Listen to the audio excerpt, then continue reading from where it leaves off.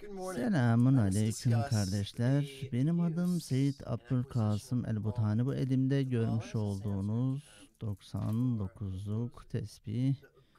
Bazı arkadaşlar bunu bu şekilde tutmasını bilmiyorlar. Bunun dört türlü şekli vardır. Birincisi tesbih elinize alıyorsunuz kalbinize doğru yavaşça götürüp evet bu şekilde gözlerinizi kapatıp yavaşça Allah Allah ve Allah demenizdir.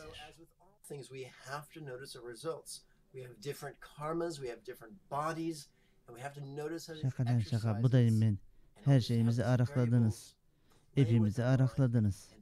Tesbihimizi arakladınız. Sonra gidiyorsunuz kendi milletinize diyorsunuz ki bunlar sünnettir.